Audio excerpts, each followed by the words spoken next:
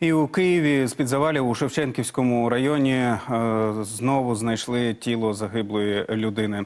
Таким чином кількість жертв зросла вже до 16 людей. Пошукові роботи там тривають. Про це повідомляє Київська міська військова адміністрація. Ну а далі поговоримо про оперативну ситуацію в тому ж таки Харкові, е, про ліквідацію наслідків обстрілів, про е, терміни відновлення. Е, До нас е, доєднується е, міський голова Харкова Ігор Терехов. Пане Ігор, я вас вітаю. Вітаю. Сьогодні, наскільки мені відомо, в місті вже теж лунали тривоги зранку, але я так розумію, що минулося без обстрілів, правильно?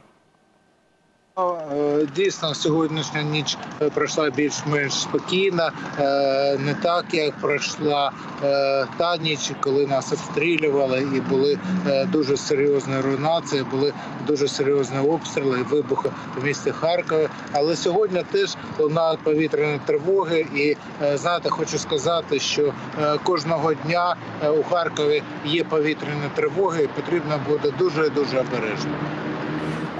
Тоді щодо наслідків е, вчорашніх обстрілів, е, от е, їх долають зараз у багатьох містах. Як я щойно повідомляв у Києві, за сьогодні вже кілька разів повідомлялося про збільшення кількості жертв.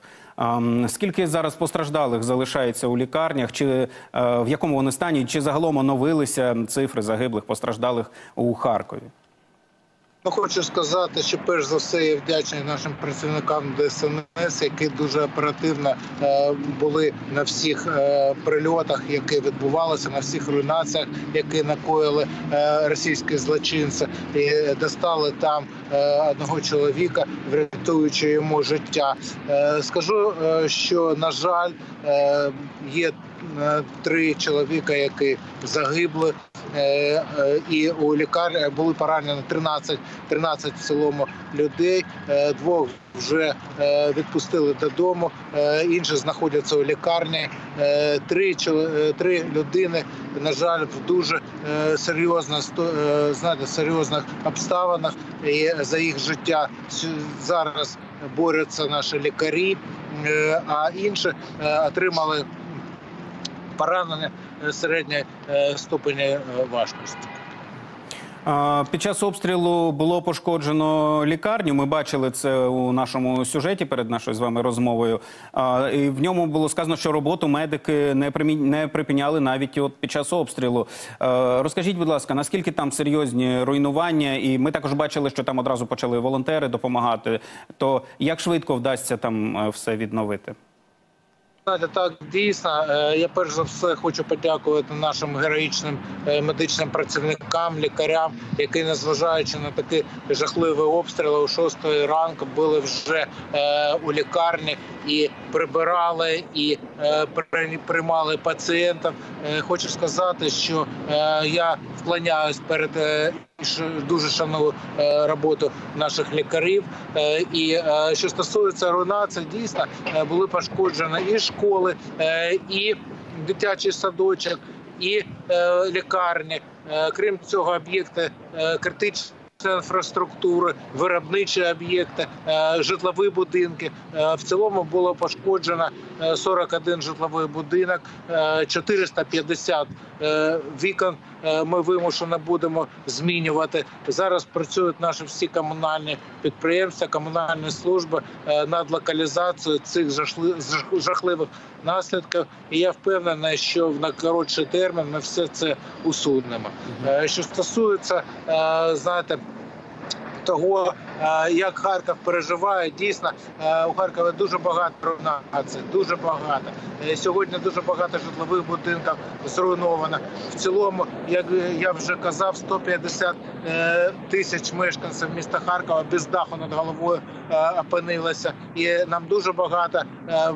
Потрібно відбудовувати і дуже такі серйозні плани у нас у наступному році щодо відбудови житлових масивів міста Харкова. От у нашому сюжеті там теж був ваш синхрон. Ви там казали про те, що пошкоджені об'єкти критичної інфраструктури, е, про котельню. Скажіть, чи вплинули обстріли на забезпечення міста електрикою, теплом, водою? Ну, знаєте, я хочу сказати, що на щастя е, це не вплинуло, бо е, були е, незначні руйнації критичної інфраструктури, які вже локалізовані, і люди не знаєте, почули того, що було припинено водопостачання, теплопостачання, енергопостачання. Тому сьогодні всі будинки міста Харкова з теплопостачанням, з водопостачанням, з електричною енергією працює громадський транспорт. І е, будемо знаєте, будемо надіятися на те, що е, і під час новорічних свят все буде добре. А от ви також сказали, що пошкоджено було дитсадок. І в цьому контексті я хотів згадати от про те, що в січні в Харкові планували відкрити метросадок. Е, Розкажіть, будь ласка, як там просувається підготовка? Чи вистачить там місця в метро всім і дошкільнятам, і школярам? Ну, ви знаєте, що ми е, відкрили метрошколу з 1 вересня. Е, у нас працює метрошкола, і сьогодні дуже е, великий запит на те, щоб ді, діти мали можливість навчатися на так званих підготов- підготовчих курсах. Ті дітки, які підуть 1 вересня до школи. І сьогодні знаєте, дуже багато дітей, які дуже бажають, і батьків, які дуже бажають, щоб їх діти е, вчилися і підготувалися, гарно підготувалися до 1 вересня, коли вони зможуть пойти пойти до школи. Е, Тому ми вирішили. Е, Відкрити такі підготовчі курси, так званий метросадок. Він почне працювати з е, 15 січня е, і вже записалося більш ніж 600 е, діточок, які будуть мати можливість підготуватись, гарно підготуватись до навчального е, сезону з 1 вересня наступного року.